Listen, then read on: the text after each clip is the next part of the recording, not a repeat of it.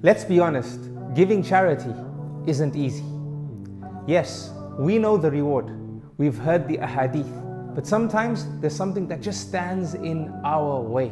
So we need amazing videos, powerful material, and even inspirational stories. Here's an inspirational story for you. A sister once rang into a live television appeal and said that she would like to donate 1,339 pounds and 79 pence. Now, normally people would call and donate 50 pounds, 100 pounds, or even a thousand pounds, a rounded figure. But with this sister, she gave such a precise number. Why? She said it was all she had in her account at the time, subhanAllah. And she was prepared to give it all for the sake of Allah in charity. This story, brothers and sisters in Islam, isn't an anomaly.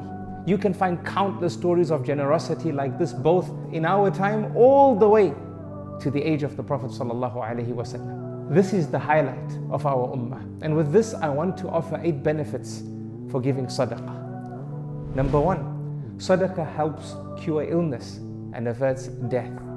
Number two, sadaqah eases hardships and removes calamities.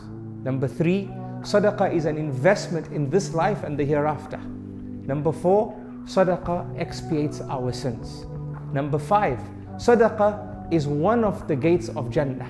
Number six, sadaqah will be our shade on the day of Qiyamah.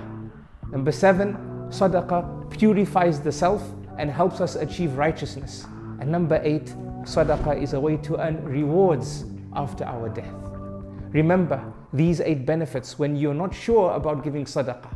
Remind yourself that it is like transferring money from one account to another, from your account in this life, the dunya, to your account in the next life, the akhirah, where the deposits of that account are multiplied.